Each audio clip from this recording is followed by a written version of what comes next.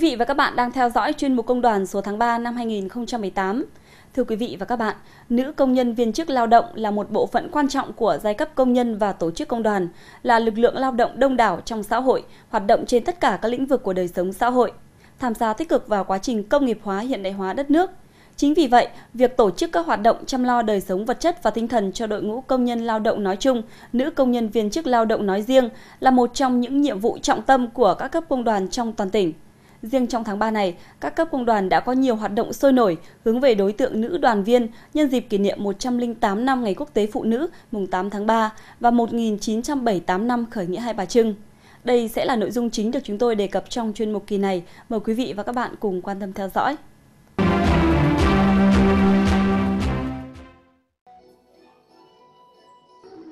Đây là những hình ảnh được chúng tôi ghi lại trong đêm giao lưu văn nghệ, tọa đàm chào mừng Ngày Quốc tế Phụ nữ mùng 8 tháng 3 tại xã Nậm Trạc, huyện Bát Sát. Ở địa bàn xa xôi và còn rất nhiều khó khăn như Nậm Trạc, thì những hoạt động văn hóa, văn nghệ sôi nổi như thế này rất ít khi được tổ chức. Chính vì vậy, bà con nhân dân các thôn bản hết sức phấn khởi. Ngay cả những cán bộ, công chức xã, giáo viên của các trường học trên địa bàn cũng vô cùng hào hứng với sự kiện này bởi năm nay là năm đầu tiên hoạt động chào mừng Ngày Quốc tế Phụ nữ mùng 8 tháng 3 được xã Nậm Trạc phối hợp với công đoàn các nhà trường tổ chức một cách quy mô. Qua đây thì à, thể hiện được cái tinh thần đoàn kết gắn bó hơn giữa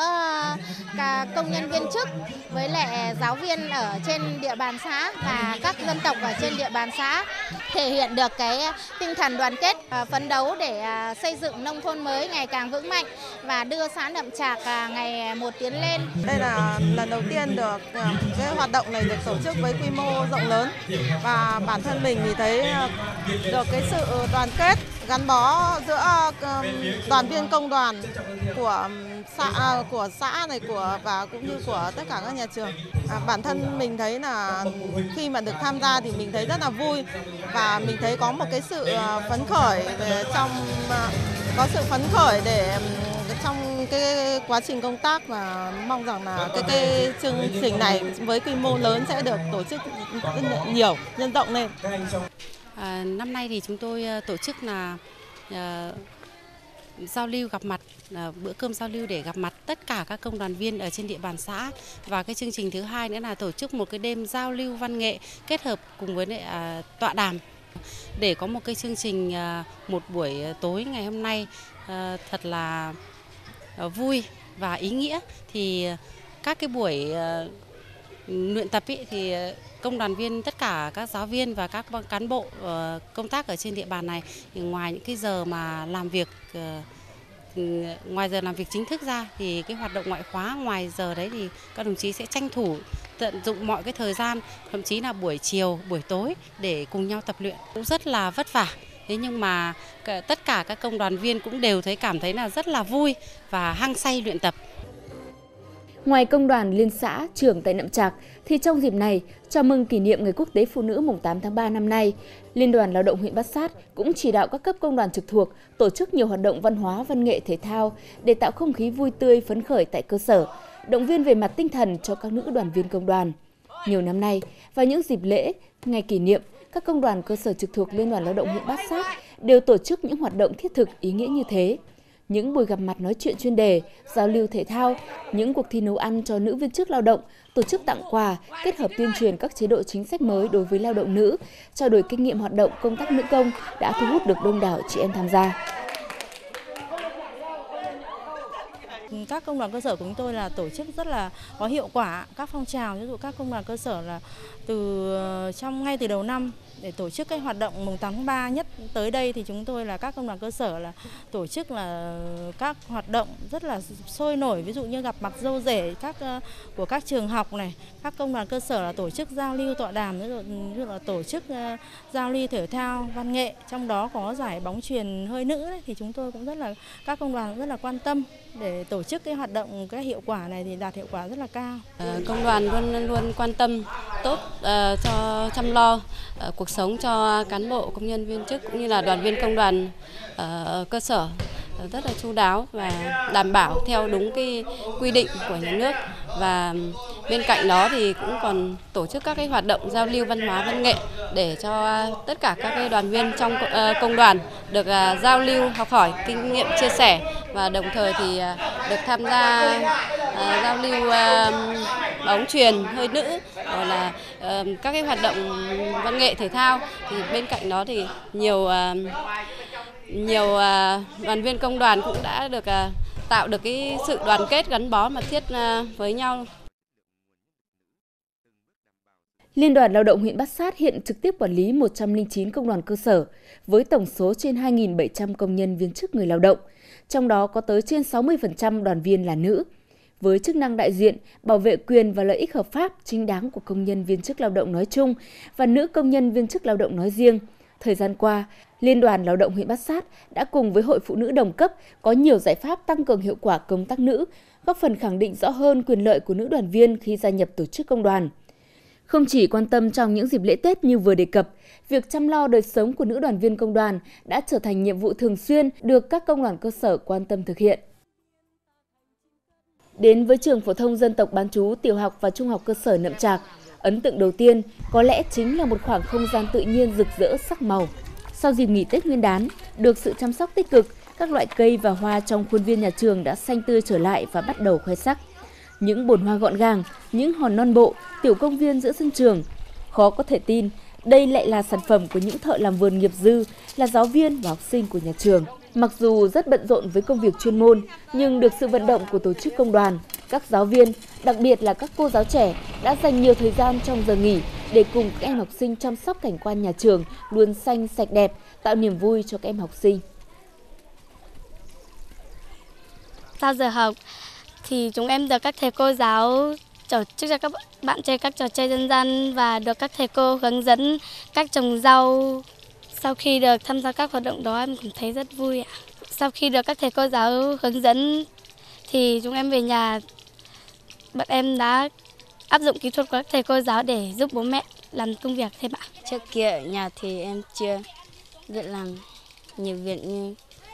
khi em đến trường thì các thầy cô giáo dạy em cũng biết trồng rau, chăm sóc rau. Bây giờ nhà em cũng biết làm việc giúp bố mẹ ở nhà rồi. Công đoàn cơ sở trường phổ thông dân tộc bán chú, tiểu học và trung học cơ sở xã Nậm Trạc, huyện Bát Sát hiện có hơn 60 đoàn viên công đoàn, trong đó có tới 36 đoàn viên là nữ. Để động viên các thầy cô giáo, nhất là các nữ giáo viên của nhà trường, hăng hái tham gia vào phong trào thi đua, Ban giám hiệu trường phổ thông dân tộc bán chú, tiểu học và trung học cơ sở Nậm Trạc đã phối hợp tốt với tổ chức công đoàn nhà trường, tạo điều kiện thuận lợi nhất để mỗi người có thể phát huy tốt khả năng của bản thân, đóng góp vào các hoạt động của tổ chức công đoàn. Tại ờ, nhà trường thì ờ, dưới sự chỉ đạo của tri bộ nhà trường, trong đó đặc biệt cái sự quan tâm ờ, phối hợp rất là chặt chẽ của ban giám hiệu nhà trường với công đoàn nhà trường trong vấn đề đó là chăm sóc cái đời sống cho công đoàn viên, như đặc biệt đó là công đoàn viên là nữ của tại nhà trường. Tại vì là các công đoàn viên nữ đã đã đã chấp nhận tất những cái những cái khó khăn vừa vượt qua những cái khó khăn lên để cống hiến đối với vùng sâu vùng xa, đặc biệt ví dụ như đối với trường Nậm Trạc. Cái quan tâm đến cái nơi ăn trốn ở. Thứ hai nữa là động viên tổ chức những ngày lễ tết. Cái thứ ba nữa là quan tâm giúp đỡ trong công tác chuyên môn để công đoàn viên là vượt khó để vươn lên để cùng với nhà trường để thực hiện cái nhiệm vụ công tác giáo dục của nhà trường. Cùng với sự quan tâm, tạo điều kiện của ban giám hiệu nhà trường, tổ chức công đoàn cũng đã phát huy tốt vai trò là người đại diện chăm lo, bảo vệ quyền, lợi ích chính đáng cho đoàn viên công đoàn thông qua các hoạt động thăm hỏi, động viên kịp thời, đoàn viên có hoàn cảnh khó khăn khi ốm đau bệnh tật, tổ chức nhiều hoạt động văn hóa văn nghệ trong nhà trường. Đặc biệt, tổ chức công đoàn cũng đã kết hợp với ban giám hiệu nhà trường kiến nghị đề xuất với ngành và các cấp có thẩm quyền đầu tư xây dựng được 24 phòng ở công vụ cho giáo viên. Nhờ vậy, các giáo viên mà đa phần là giáo viên nữ xa nhà phải ở lại trường đều yên tâm công tác, công hiến cho sự nghiệp chồng người. Lúc mới đầu lên thì ờ, cảm thấy ờ, ở trên này rất là các em học sinh thì khó khăn mà giáo viên thì rất là vất vả nhưng mà sau một thời gian công tác thì tôi uh, hiểu ra và thấy thương các em nhiều hơn. Thì ờ, lên đây thì nhà trường cũng tạo điều kiện ờ, tạo ờ, nơi ăn trốn ở cho các đồng nghiệp rồi là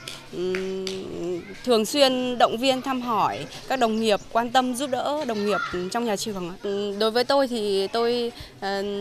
có quyết tâm cao là sẽ cống hiến cho giáo giáo dục vùng cao ạ. Với sự quan tâm tới đời sống vật chất và tinh thần cho các nữ đoàn viên công đoàn như ở trường phổ thông dân tộc bán trú tiểu học và trung học cơ sở Nậm Trạc nói riêng, ở các cấp công đoàn thuộc Liên đoàn Lao động huyện Bát Sát nói chung, phong trào nữ công tại các đơn vị này ngày càng được nâng cao. Các phong trào thi đua giỏi việc nước, đảm việc nhà gắn với phong trào thi đua phụ nữ tích cực học tập, lao động sáng tạo, xây dựng gia đình hạnh phúc có nhiều chuyển biến, góp phần khẳng định vai trò, trách nhiệm của đội ngũ nữ công nhân viên chức trong công tác lao động sản xuất, nuôi dạy con tốt, xây dựng gia đình hạnh phúc. Theo đánh giá của Liên đoàn Lao động huyện Bát Sát, đội ngũ nữ công nhân viên chức và người lao động ở tất cả các lĩnh vực, vị trí công tác đều quyết tâm vượt qua khó khăn, sắp xếp ổn định công việc gia đình, phấn đấu học tập, phát huy sáng kiến cải tiến kỹ thuật trong lao động sản xuất, công tác đạt hiệu quả cao. Kết quả trong nhiệm kỳ 2013-2018 đã có tới trên 7.300 lượt chị em đạt danh hiệu giỏi việc nước đảm việc nhà các cấp,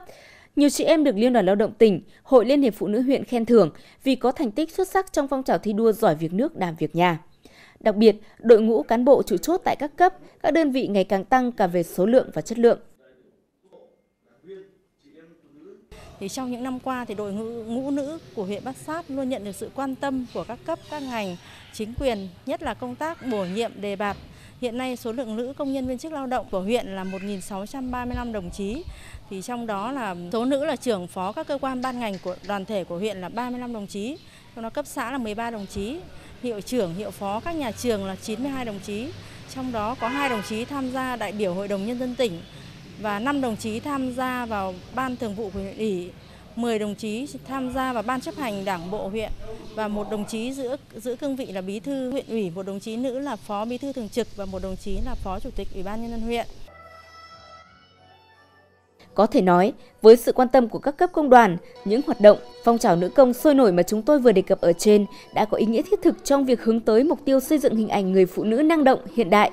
vẹn toàn việc nước, việc nhà. Trong thời gian tới, để phong trào giỏi việc nước, đảm việc nhà trong nữ công nhân viên chức người lao động thực sự trở thành động lực giúp chị em làm tốt công tác chuyên môn và công việc gia đình, Liên đoàn Lao động huyện Bát Sát và các cấp công đoàn trong tỉnh cần tiếp tục thực hiện đổi mới nội dung và hình thức hoạt động công tác nữ công, từng bước củng cố kiện toàn các tổ ban nữ công ở cơ sở, quan tâm chăm lo đời sống cho lao động nữ, tuyên truyền sâu rộng các nội dung phong trào thi đua đến từng nữ cán bộ và đoàn viên công đoàn.